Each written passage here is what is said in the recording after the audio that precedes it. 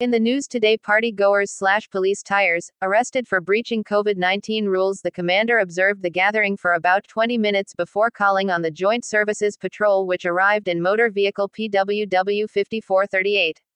On seeing the ranks, the patrons ran away, the police said, but ranks later discovered that the right rear tire of the force vehicle was slashed with a sharp object.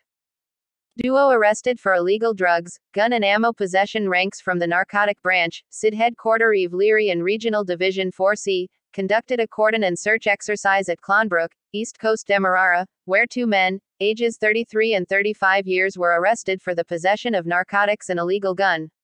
Police noted that they discovered 14 taped parcels of leaves, seeds and stems suspected to be cannabis amounting to 7. 150 kilograms and one 9mm pistol and 6 rounds.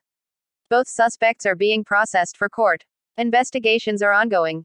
Taxi driver disappears after leaving home to make pickup at CJIAA Georgetown resident, who is attached to Nigel's taxi service on Sheriff Street, Georgetown, has disappeared after he left his home for work on Friday evening. The taxi driver, Grivel Ramnarine, also known as Ben's family, of Leopold Street, Georgetown, was not heard from since.